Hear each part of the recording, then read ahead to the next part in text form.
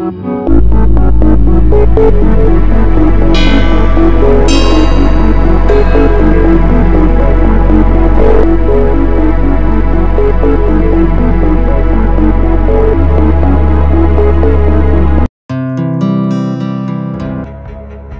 asli Abu Bakar As-Siddiq adalah Abdullah bin Utsman atau Abu Kuhafah.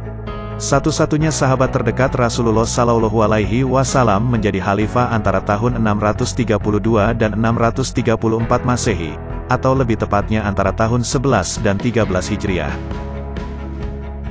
Sebagai khalifah, Abu Bakar As-Siddiq memiliki sejumlah keutamaan yang patut jetuntunan dan diteladani umat Islam. Berikut biografi singkat Abu Bakar As-Siddiq, yang pertama, setia kawan dan memiliki kesetiaan yang teguh. Abu Bakar adalah salah satu sahabat yang setia terhadap Nabi Muhammad. Pernyataan ini dibuat ketika Nabi Muhammad melakukan perjalanan, hijrah, dari Mekah ke Yasrib.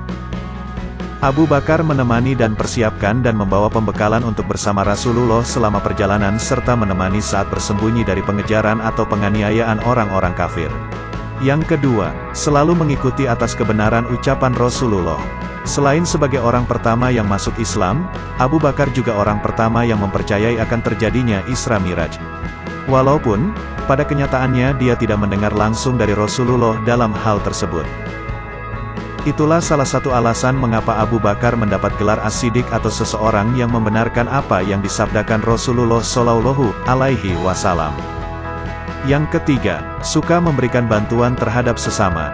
Salah satu perbuatan Abu Bakar yang patut dijadikan tuntunan dan panutan adalah bahwa dia senang memberikan bantuan terhadap semua orang. Yang di mana Abu Bakar memerdekakan budak-budak yang disiksa oleh tuannya. Salah satunya Bilal bin Rabah al-Habsyi, orang yang dibantu dimerdekakan oleh Abu Bakar as-Siddiq. Yang keempat, tawadu atau rendah hati salah satu sifat yang diridhoi Allah subhanahu wa ta'ala adalah tawadu atau rendah hati. Meski demikian, Abu Bakar As-Siddiq adalah pemilik sifat ini. Hal ini dibuktikan dengan fakta, bahwa Abu Bakar As-Siddiq tersebut sering mengunjungi para janda, dan memerahkan susu domba.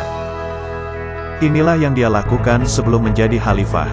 Selain itu, ia sering memasuki rumah-rumah anak yatim untuk membuat mereka merasa lebih baik tentang situasi mereka. Ada seorang janda yang berkata, Abu Bakar belum memerahkan susu domba untuk kami, setelah ia diangkat menjadi khalifah. Abu Bakar yang mengetahui perkataan tersebut dengan lembut menjelaskan kepada mereka bahwa dia akan tetap memerahkan susu domba untuk mereka.